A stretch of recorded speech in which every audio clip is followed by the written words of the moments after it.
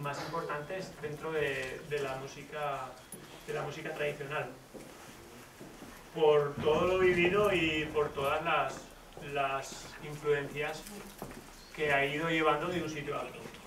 Miguel Ángel Elizaga nació en Estella en 1933 y como he dicho era parratero y zapatero y desde el año 47 acompaña a su, a su padre y a su tío.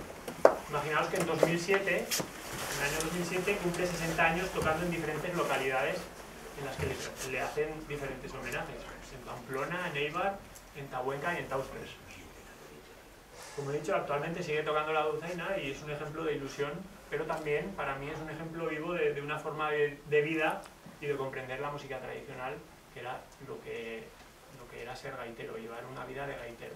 Pensar en la gaita y en, y en darle el mayor respeto posible a, a esa que era su, su profesión.